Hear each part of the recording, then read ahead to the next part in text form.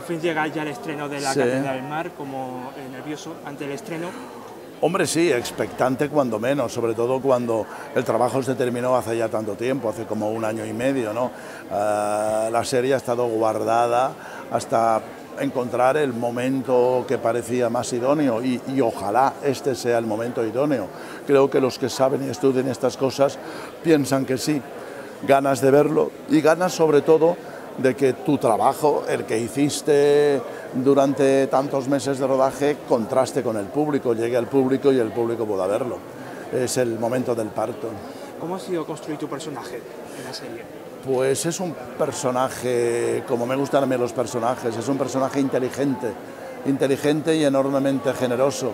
Es de entrada un personaje que nada tiene que ver conmigo, es un esclavo moro, es un, un hombre que viene de la cultura árabe, con siglos y siglos y siglos de cultura árabe a sus espaldas y, que por su condición de esclavo se pone lógicamente al servicio de sus amos. Y en este caso su amo es Arnau Estañol, hacia la segunda parte de la serie, el protagonista de la serie, que es un pobre chaval que llega a la ciudad de Barcelona sin oficio ni beneficio y sin saber qué va a ser de su futuro. Y este hombre le acoge prácticamente casi como un padre eh, y, y actúa con él como un padre. Es un hombre que le enseña toda la enorme sabiduría que él tiene, sobre todo acerca de los negocios, de lo que entonces se llamaban cambistas, que sería ahora el mundo de la banca, los prestamistas, cómo prestar y cómo ganar dinero y cómo jugar con el dinero y cómo hacer crecer el dinero. Y al mismo tiempo también le va marcando como persona y le va dando los consejos necesarios para que se convierta en ese caballero que termina siendo el hombre más poderoso de Cataluña. Y cuando ya ha conseguido eso, sabe cuál es el momento de retirarse en silencio y volver a sus tierras de la Arabia y dejar allí encaminado al protagonista sabiendo que ha cumplido su labor. ¿Cuál ha sido el mayor reto que, que te has podido enfrentar en esta serie? El mayor reto, bueno, el mayor reto es siempre conseguir que el espectador te crea, que el espectador no vea al actor, sino que vea al personaje, a través de la caracterización, en este caso también, que era muy importante, y a través del, propio talento del actor. Ese es el mayor reto, hacer creíble al personaje. En este caso, un personaje muy alejado de mí, un moro, un árabe, nunca lo había interpretado yo. Pero por otra parte, uno de los mayores retos de esta, de esta producción han sido las escenas de acción, lógicamente. Mm, es una serie con mucha acción, con batallas navales y esa cosa de estar rodando en alta mar y en un barco y carreras y explosiones y demás, eh, a los actores españoles siempre nos pilla un poco desprevenidos, no es algo que hagamos mucho habitualmente.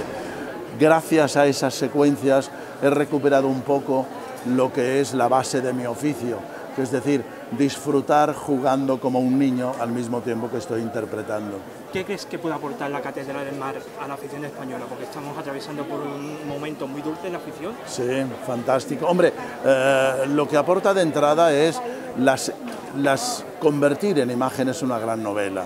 Es decir, una novela que han leído millones de personas, que es un bestseller que, que ha gustado muchísimo. Eh, el reto es grande, no decepcionar a esa gente que ya conoce la novela. La serie tiene una ventaja y un hándicap al mismo tiempo en el momento de empezar a emitirse, que es que el público ya conoce la historia. No es como otras series donde te van sorprendiendo poco a poco.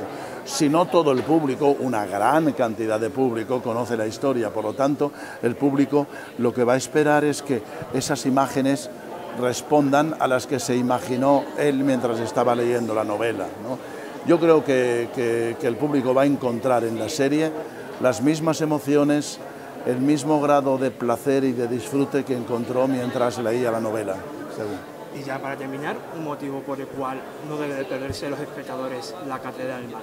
Porque es uno de los mejores productos de ficción, estoy absolutamente seguro, que se han hecho en este país en los dos o tres últimos años, porque es una historia que llega directamente al corazón de los espectadores, pero también a la mente, también tiene algo que decir a la inteligencia de cada uno, porque es una parte de nuestra historia y hay que ser capaces y tener el valor de revisar nuestra historia para aprender de los errores del pasado y no cometerlos en el futuro y en definitiva por placer, por puro placer, por ganas de pasarlo bien, seguro.